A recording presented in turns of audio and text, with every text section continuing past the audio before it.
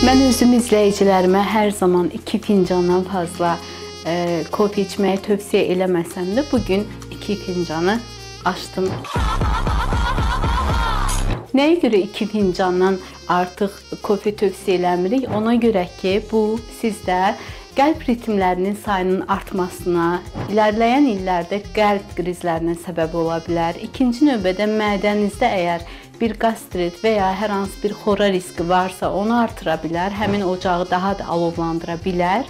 Üçüncü səbəbdən isə e, beyin funksiyalarının pozulmasına, xüsusən epilepsiyalar, autistik uşaqlar, onlara kofe, kofein tövsiyə eləmirik. Dördüncü səbəb isə hamiləlik dövründə Ondan sonra süd vermə dövründə kofein çox tövsiyə olunmur. Yaxşısı budur ki, mən günümə su ilə davam eləyim.